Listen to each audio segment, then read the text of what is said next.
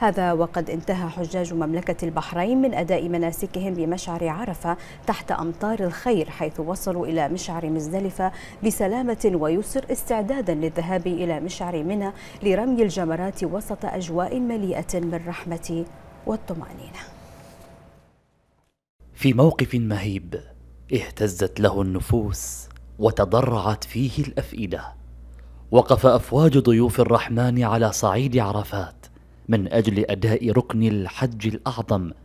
وفي هذا المشعر وحرصا من بعثة الحج البحرينية في الإطمئنان على حجاج المملكة تفقدت البعثة جموع الحجيج من المواطنين والمقيمين وزارت الحملات البحرينية ووقفت على سلامتهم كما وبادلتهم التهاني بعيد الأضحى المبارك. إحنا الحمد لله اليوم متواجدين في مشعر عرفات ومن خلال زياراتنا للحملات وزيارتنا للحجاج البحرين الحمد لله لم نرصد أي أي حال غير طبيعية.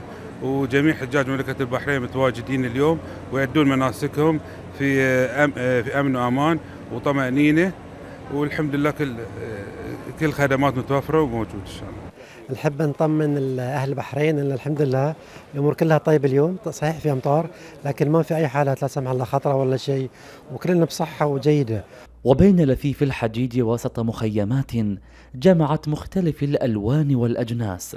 نثر الحجاج البحرينيون في هذه المشاعر مشاعرهم وأرسلوا سلاماتهم وأمنياتهم. شعور كلش كلش رهيب يعني. خاصة إن إحنا كنا تونا كملنا الدعاء فجأة يعني سمعنا صوت المطر. طلعنا طبعا برا يعني كأن مثل الله قاعد يقول لنا ترى استجابت دعاتكم يعني. وشعور رهيب ما أقدر أوصفه صراحة خاصة لأن أنا أول مرة يعني أجي و ما ما أدري ما أقدر يعني أوصف الشعور الصراحة. يوم زاد المطر دخلنا داخل لكن الحمد لله يعني كان الثبات موجود عندهم وشغلوا يعني الدعاء الجماعي بدايه الفقرة مع الدعاء الجماعي ودعينا فيها إلى يعني تقريبا خذ ربع ساعة إلى ما أكثر. وبعد ذلك تم الدعاء الفردي للأشخاص. والحمد لله وكلهم مطمئنين ولا فيهم فزع ولا فيهم خوف وكانوا كلهم مطمئنين والحمد لله رب العالمين. وطلبت من ربي ان يغفر لي ذنوبي كلها وإن أخطأت فربي إن شاء الله يتقبل دعائي وإن شاء الله يتقبل دعاء كل المسلمين أجمعين برحمتك يا أرحم الراحمين. اللهم تقبلنا عندك اللهم اغفر لنا ذنوبنا وارحمنا واعف عنا وتقبلنا برحمتك يا أرحم الراحمين. موسم شهد مئة ألف جهد بشري سعودي في أرض الميدان. جعل الحجاج يدخلون عيدهم دون عناء.